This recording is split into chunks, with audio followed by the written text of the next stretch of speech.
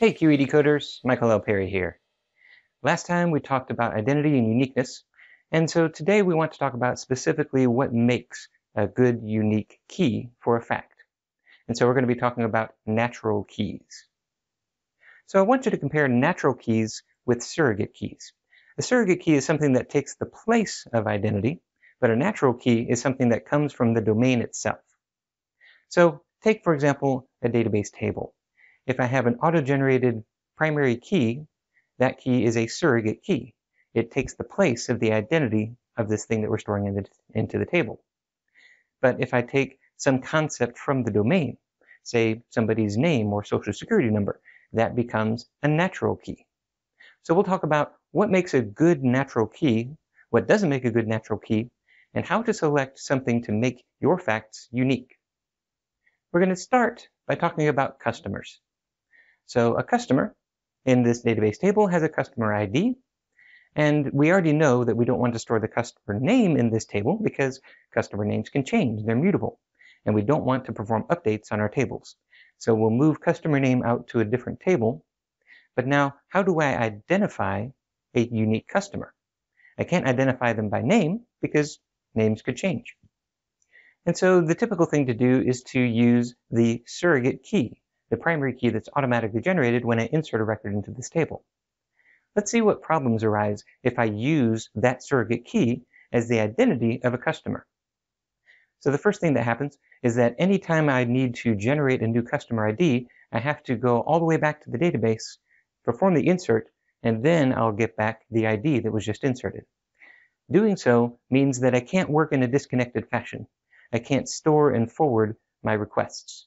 And it also makes it very difficult for me to synchronize two different databases because those automatically generated IDs are going to be automatically generated in sequence in parallel. And so you're going to get collisions. And those IDs are going to mean different customers on different databases. So in order to support distributed systems where we can work in a disconnected fashion and we can work against different repositories and merge later, I don't want to use this automatically generated ID as the identity of a customer. And so I need to come up with some other identity. I'm going to come up with a different surrogate key that I generate externally. So in this case, I'll use a GUID. And now when I have a client that needs to record a brand new customer, that client can generate the GUID. It doesn't have to go all the way to the server in order to get the ID. So the client can generate that customer GUID, package that up with some subsequent records. So here's the customer name relative to that GUID. Here is an invoice for that customer relative to that GUID, all without knowing what the generated internal surrogate key is going to be. So that's an advantage, and that's the way that we'll model the customer table. By the way, there's a different way that we could model this. Instead of using a GUID, we could use a timestamp.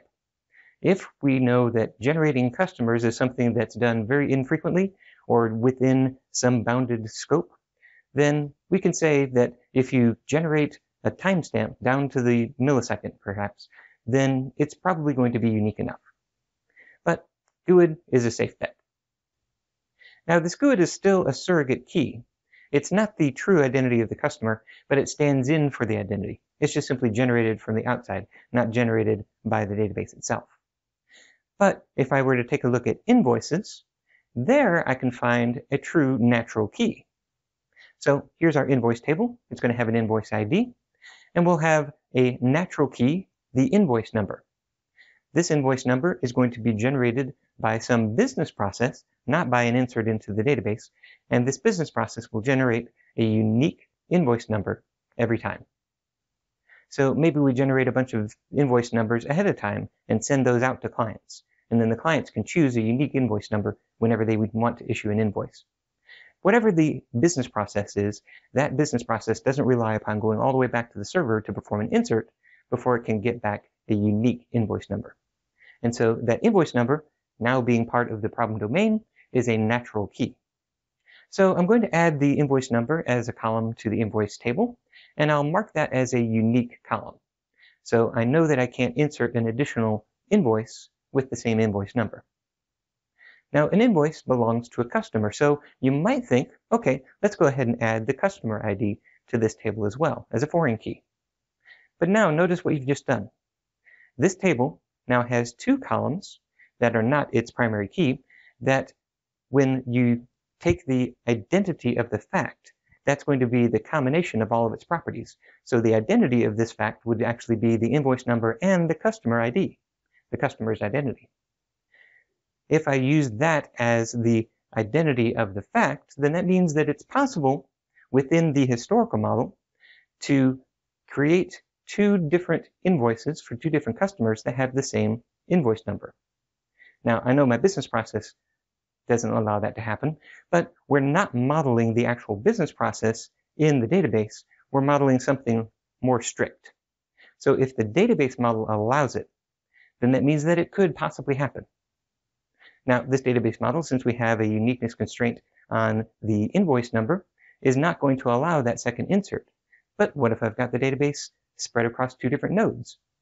Maybe I've got two different data centers that I'm syncing up every once in a while.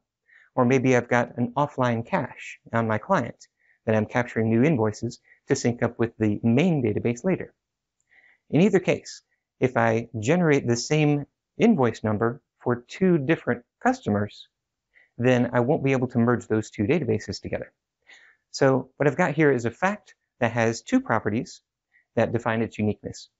Instead, what I want to do is let this fact be identified only by that unique invoice number and we'll take the customer ID and we'll move it out to a subsequent table. So I've got a successor that is the customer ID for a particular invoice. Now that model allows something interesting. It allows us to generate the same invoice number for two different customers. So like I said, the business process is going to disallow that. So as long as the business process is working properly, that situation will never happen. But the database reveals to us that it is a scenario that we're going to have to plan for. So if the business process fails, I'll see two customer records for the same invoice. The database can capture it. I can synchronize two different databases, and I can discover that that has happened. And then I'll have all the information I need to resolve that conflict. But we allow that to happen because we can only have things that are unique to the fact as properties of that record. And so all this gives us a couple of examples of what we can use for unique IDs within a historical model. First of all, never use the auto-generated ID externally to represent the identity of a fact. That would require that you have to wait for a connection to the server in order to generate that ID before you can continue. Second, if you can use a natural key, something that's part of the domain, then do so. But if you can't, then you can use a GUID or a timestamp within some bounded context in order to generate a unique ID from the client before you even get to the server.